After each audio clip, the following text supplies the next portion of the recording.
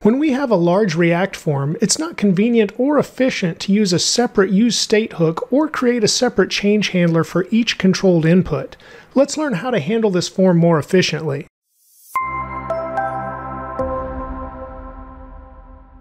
Hello and welcome. I'm Dave. Today we will learn how to handle all of the inputs in a React form with only one change handler and one use state hook. I'll provide links to example source code and all resources in the description below. For our starter code today, I've started a new React project with Create React App, and you can see the file tree over here. I've cleaned out a lot of the things we don't normally use.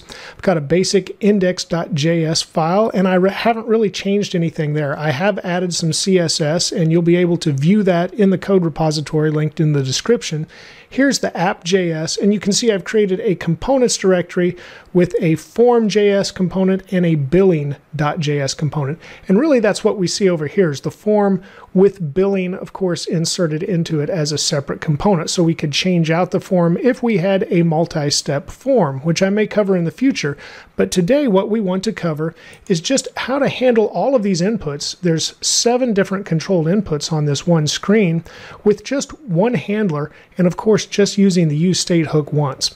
You can see in the app component, I'm just importing the form component and returning that. Now, we could have a larger app here, so that's why I've got this structured this way, because we could have a separate form component that is just part of an app. So here's the app with the form, and then when we go to the form, right now I'm importing the billing component, which has all of these inputs, and then I haven't added the code here. So this is what we're going to go over today. I can show you quickly the billing component, and it has props. It gets data and the handle change handler. And from there, you can see each one of the inputs uses this handle change. So for the on change, it's always handle change. We're just using one handler there. And then of course we have data for the form. And as you can tell here, it says data dot bill first name, it's going to be an object. So let's start adding some code into our form component to see how all of this comes together. I'm going to start at the top because we also need to import useState. And there it is in our list. And after we get useState, then we can start using that right away at the top of the component. Now I'm going to paste this in because it would be a lot to type and you can get it from my repo or you can just pause the video and type in what you see here. But what we've got is data and set data. And here we're using the use state hook. And then it's got all of the different inputs. And you can see one, two, three, four, five, six, seven, just for the billing information. Now we could have a separate screen that would have shipping information as well. And we could handle that all in the same hook. But right now we'll just do the billing screen. So we've got all of this state here and it's pretty much all an empty string for each one of the inputs. After that, I'm going to put in a handler for the form. And when we handle this form right now, we're just going to prevent the default so it doesn't reload the page, of course. And then we're just going to log to the console what the current state is that's stored in our data. But of course, this would submit to an API or wherever we wanted to send the data if it was an actual application. And now let's replace our return by creating some content first and then just returning that content. And it looks like it's scrolling off the screen here, so I could press Alt Z, and now we wrap that and you can see everything we've got. So our content is our JSX. You can see it is a form that we have right here. I'm just putting a heading in the form. Of course, we'll, we are calling the handle submit handler right here that will log the data to the console. We've also put in our billing component and we're passing in the data and the handle change handler that we have not created yet, but we will. And then we've got a button. Now when a form just has one button, it defaults to being the submit button, so I don't even have to put type equals submit here. I've just added a class name that responds to some of the CSS that I have included. And then we have the return content. So what we're left with is needing to create this handle change handler. So let's scroll back up above and underneath the handle submit, let's start creating our handle change handler. So I'll say const handle change and we'll have an event and you could put this E for event inside of parentheses or not. I just am not doing that right now and it works either way. And then inside of the function, what we I want to put what we normally have first. So typically, if we were just handling a change for one controlled input and it had its own use state hook instead of using an object for the state. So imagine having a use state for first name, another use state for last name, and so on.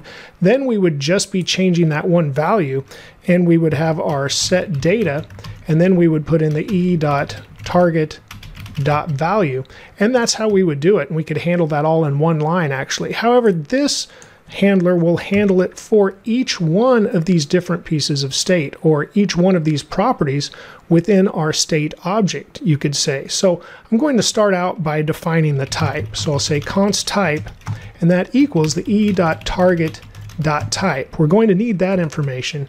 And then let's go ahead and get the name as well. And that's equal to e dot target dot name. Now this is something to really point out here because it needs to match what we have in our state, the bill first name, bill last name, bill address one, and so on. So that name, e dot target not name dot name needs to match. And I can show you on an input here in our billing component where we've set that. Notice each input is going to have a name attribute, as well as an ID and some of the other things we've set, like type.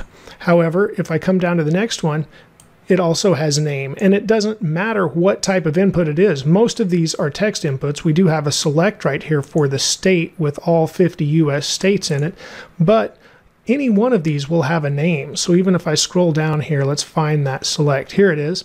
It still has a name attribute. So that needs to be uh, identical to what you put in the state, like we have over here, bill state, bill zip code, and so on. And now back in the handle change function, after we have the type and name, here is the equation we need, or the logic comparison that we need. And I'll say const value, and this is going to equal a comparison. And we're going to compare that type we defined and say, is it equal to checkbox because checkbox handles things just a little differently. So we'll say if it is equal to checkbox, and this is a ternary statement, then we're going to use e dot target dot checked. That's where we would need to get our value. Otherwise, it's still going to be e dot target dot value.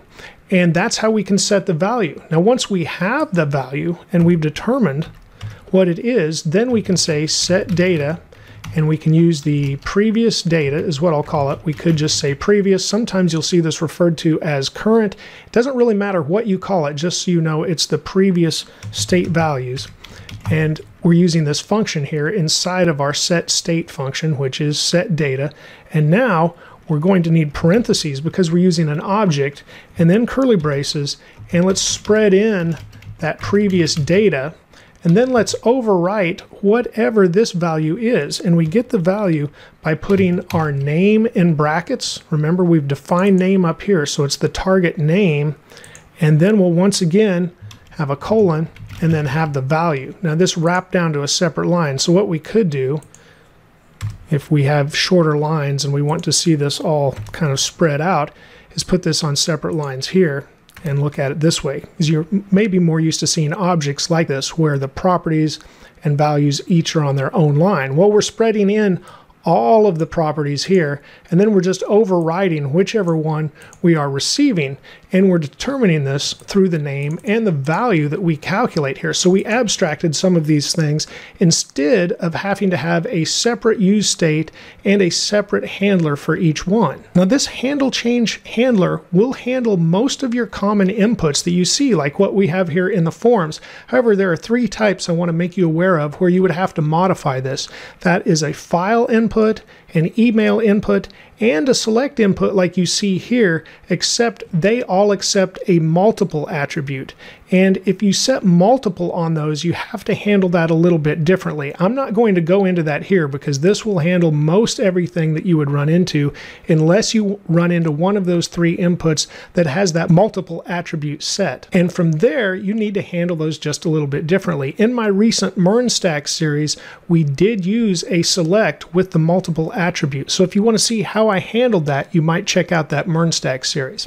Right now, there's one other thing we should do here for our form, and that is to handle when we can submit the data. So we can provide just a little bit of validation here. So underneath our handler, I want to have two extra lines here. And one is to say const, and I'm going to destructure our data. I'm going to pull the second billing address out of it, and then I'm going to spread other props. And this actually puts all of the other values and properties there inside of this other props. And so then we can just say equals data.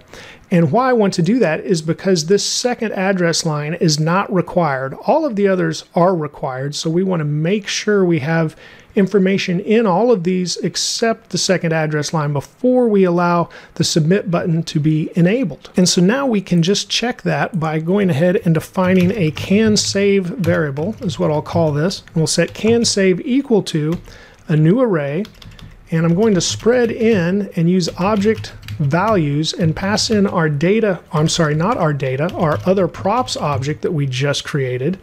And then at the end of this array, I'm going to use the every method and then say boolean. So what we're going to do is make sure every value inside of this array has something, that it's not an empty string, and then it would return true essentially. So we can save that, and now we can use our can save variable that we've created inside of a disable attribute here. So let's set disabled equal to the opposite of can save. And we chose the opposite because this would not be true if any one of the values here was empty. So if then it says false, then we want this to be true because that would be disabled equals true. Now I'm going to save these changes and we'll go ahead and open a new tab over here in our uh, browser and then I'll use control backtick to open a terminal. I'll type npm start because we were just looking at an example before. Now I'll close the example and we should get this running. So, oh, it says it's on another port. I didn't close it fast enough, or maybe I need to go ahead Yep, I'll control C in my other instance of VS Code. So that if you ever get that message, that's what's happening. You're running another instance somewhere. So now npm start, and it should start up here in the browser. And as soon as it's running, we'll check everything out. Okay, we have our form. Notice the submit button is disabled. We can't use it right now. We haven't filled in the information we need. So I'll start filling in some information. I'm Dave, and notice here when I don't meet the pattern that I've set on these inputs, and you can check that out in the billing component, I have set a pattern on most of these like this right here, and that's a regex pattern, and just when it's a very simple one for what I'm doing here, so if I need at least a couple of letters entered in for last name, it would be a very short last name, but at least a couple, and when it's not, it instantly has this invalid class, and I'm styling that with CSS, so you can tell it is currently invalid. So just worth checking out in the repository if you want to. Here I'm going to put 555 Hollywood Boulevard. That would be nice. I'm not going to put anything in this second address line. Of course, everything you currently see before I enter information is a placeholder attribute that we see like you see right here for this input here in the billing component. And now let's go city. I'll say Los Angeles, where Hollywood is, California, 55555. And now the submit button's good to go. But if I delete this zip code, Notice submit button is disabled. So we need to have information in six out of the seven inputs. And that's what we did with this last piece here in the form where we set the can save value. And then of course I can drag this over to full screen and then I'll open up our browser and I'll get the console over here, clear that out. I'm just going to submit and then we see our state over here as an object and we've got all the information we put in the form. So in the next tutorial, I'm going to show how you can make this a multi-step form with billing info, shipping info, and possibly some opt-in stuff like subscribing to a newsletter. That's coming up in the next one. Remember to keep striving for progress over perfection, and a little progress every day will go a very long way. Please give this video a like if it's helped you. And thank you for watching and subscribing. You're helping my channel grow. Have a great day, and let's write more code together very soon.